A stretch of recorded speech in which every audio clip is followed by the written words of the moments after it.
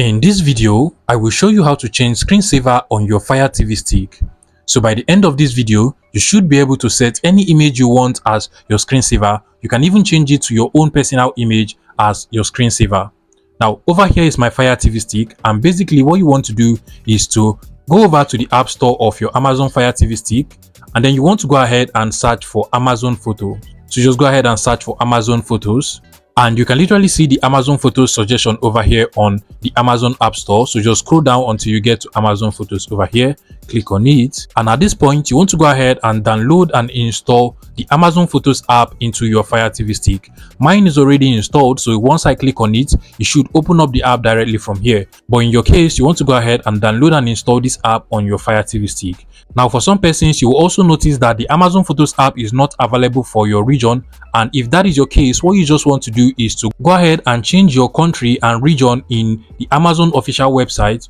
Now, once that is changed, you will find out that you should now be able to download and install unavailable apps on your Amazon Fire TV stick. Now, once you have this app on your Amazon Fire TV stick, what you want to do is to go ahead and set it up and then you also want to download and install the Amazon Photos app from the Google Play Store or App Store of your mobile phone. Now, in my case, you can literally see the app over here. I have downloaded and installed this app on my mobile phone and I've been able to send some of the pictures I actually want as my screensaver into the Amazon Photos app. Now once you send it on your mobile phone, it will automatically appear on the Amazon Photos app on your TV. Now once that is the case, what you finally want to do is to go back to the home of your Fire TV stick and then you want to go over to the settings icon over here and then you want to scroll horizontally until you get to the display and sound settings over here click on it just like so and then you want to scroll down and then click on screensaver and now you want to go ahead and click on current screensaver over here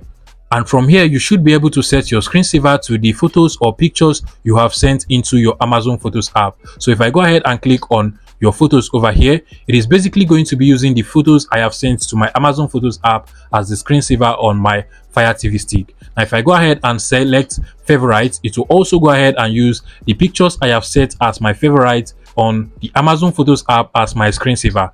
Now I can also go ahead and select the recent pictures as well it is going to do the same thing that is basically how to change screensaver on your fire tv stick or fire stick if you find this video useful please make sure you smash that like button and subscribe to this youtube channel for more interesting tech tips like this one